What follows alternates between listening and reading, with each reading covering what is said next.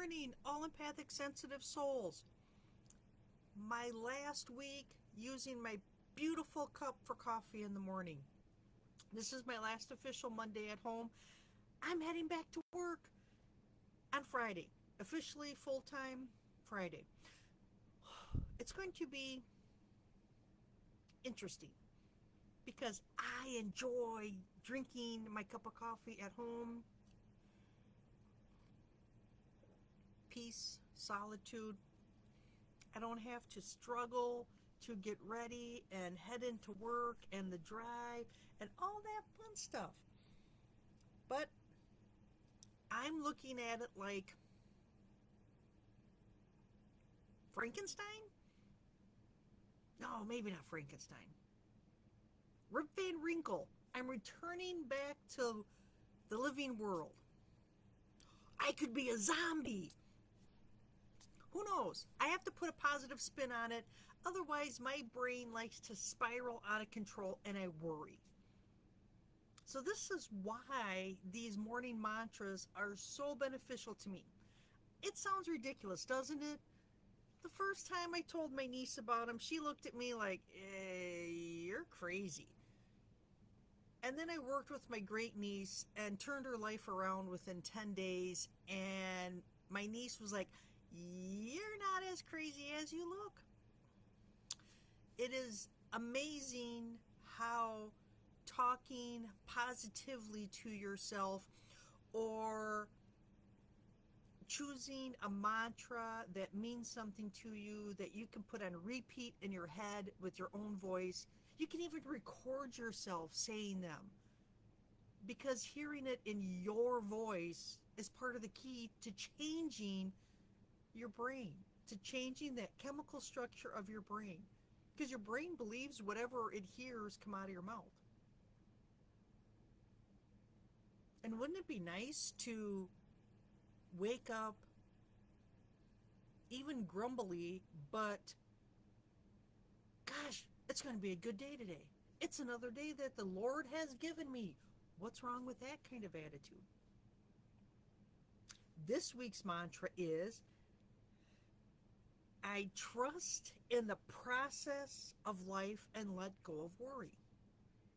That is what I'm having to do. I am living that, right? Because I have to go back into work. So I breathe in calm and peace, and I breathe out the stress and the worry.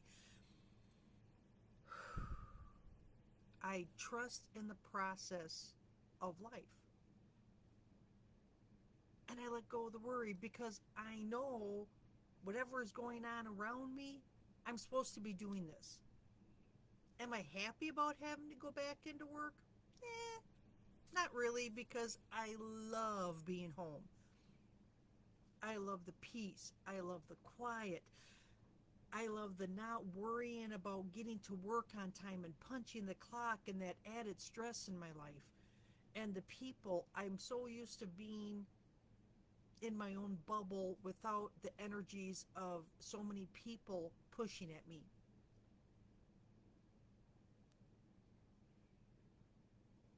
But there is some excitement there because I am returning to the land of the living. And I find I don't interact a lot with people, but I didn't react interact with any person while I while I was home. While I am home yet. Except for my phone. So there's some excitement, but there's some dread. And the fear for me is I will become super stressed out again. And I don't want to go back to that point. But I've got a lot of tools now. Part of my tools are the morning mantras. I have them posted on my computer at work. I am more than good enough. I am worthy. I have value. I am worth what the universe has to offer me. I am loved. I am love, right? all these mantras that during that moment of oh, dread, when I'm sitting at my desk, I can glance over at my mantras and go, I am good enough. I can set my boundaries and yeah, they, they, they can push on my bubble all they want, but I'm okay. Last week's mantra, I or the week before, I am calm, I am centered, I am strong. This too shall pass, and I will emerge stronger. I breathe in peace, I breathe out stress. And this week, I trust in the process of life and let go of worry. I have to trust that I'm on the right path. I have to trust in divine timing that it's time for me to go back into the land of the living. I have to trust in the process. Doesn't mean I have to be happy about it all the time, but I have to trust. I have to let go of that worry and say, okay, this is what I'm supposed to be doing now. Do I have control of my life? Well, sure. Everybody has self control. Everybody has the moment of you get to make the decision of whether you turn left or right or go straight or heck, go in reverse if you want. Not that I'm going that way, but if I had to, we all have those options. But I have to trust. And trust is hard. Because where does my brain go? Well, you know what the happened the last time you you okay, whatever and it was a disaster. Remember that time? But that was in a space where I was very unhappy. I'm in a different space now. I'm okay. Remember, I am more than good enough. I am perfect just the way I am right now in this very moment. I breathe in peace. I breathe out stress. I trust in the process of my life and I let go of the worry. Isn't that what we do when we say our prayers at night? You're trusting that God has your back, that He doesn't give you anything more than you can handle, right? We got this. We can do this. Not with my beautiful cup, of course, I'll have to take my stainless steel one in because I got to travel with it. And I don't want to drop this one because this one is way too pretty. Trust in the process. Just let go of the worry and trust. And it is so hard. It's like doing that exercise where you have to trust that people are standing behind you and will catch you as you fall back. I have never been able to do that. but I've never been around a group of people that would have my back. And I've never been put to the test to test that theory out. And I'm okay with that. But we have to trust. I trust that the universe will catch me if I fall, if I sit down for a moment and rest, because work, it's stressful at work there's always the next thing coming up. There's always people saying, hey, you forgot this. Did you do this? It gets very stressful. I really, really wish that it would be an add a girl once in a while. And I try to maybe even in a funny way, but not joking,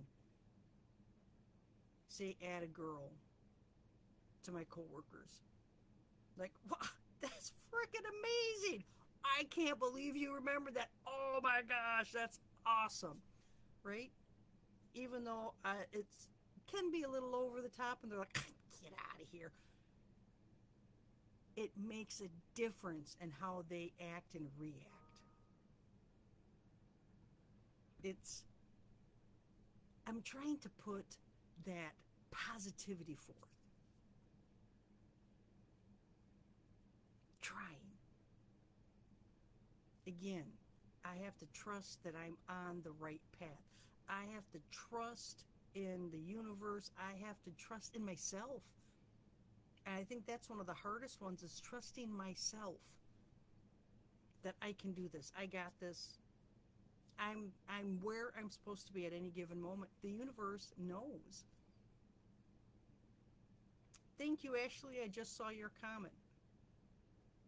Yes, I love my cup. It is so pretty and it's matching today. I normally wear blues, but today I found a red shirt because it's Power Red Monday. That's what I'm going for. Believe. Believe in yourself. Relax. The universe has got your back. Family, friends, those close to you. Together, we can hold hands. We can stand strong and tall. Trying to throw some positivity into a negative spot, it's hard, but I do it. I like it, it, for whatever reason, it has a tendency to really irritate people I work with. I love music. I love humming. Sometimes I'll sing little ditties. No, I don't sing very well, but that's the whole point. And you put those little worms in people's ears with whatever song you're singing as you're walking down the hall. And there's no cheerfulness there. And that's really frustrating for me because I like to think I'm a cheerful person overall. Yes, I have my ups and downs. Who doesn't? There's moments of stress. You're like, oh, or I'm tired because my gosh, it's early Monday morning. Ugh right? But I try to be positive. I try to be upbeat. And boy, does it irritate them. Which, of course, then it makes me do it even more. Silly me. Ladies, have a fantastic Monday. Remember, trust in the process and let go of the worry. Trust yourself. You've got this. We've got this. If you need help, if you need a shoulder to cry on, if you need a hand to hold, if you need somebody to tell you some ridiculous joke, let me know. Post it in the comments. Keep me posted on how life is going. I'm going to finish my cup of coffee. I'm going to get signed into work because it's Monday morning. My last official Monday at home. I'm sad, but kind of excited. And I'll ride that excitement wave as far as I can take it. Take care, ladies. Bye for now.